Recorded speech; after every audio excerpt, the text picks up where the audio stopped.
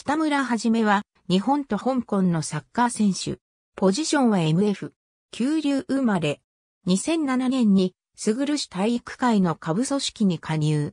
2012年にイングアカデミーに移り渡米すると、ノックス大学、マサチューセッツ大学ローウェル校に在籍した。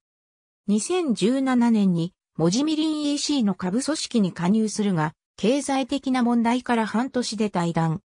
同年、東方は下馬隊の練習に参加。プレシーズンマッチでムアントンユナイテッド FC、アーミーユナイテッド FC と対戦することになったが、22歳以下の選手を少なくとも2人ピッチ上に送る必要があったため、21歳の彼は2年のプロ契約を締結した。しかし加入後に負傷したため、東方ではリーグでの出番がなかった。2018年に無双 FC に移籍。しかし1年で退団した。2020年1月10日に香港ルロー族球界に加入。香港生まれであるが、両親は共に日本人。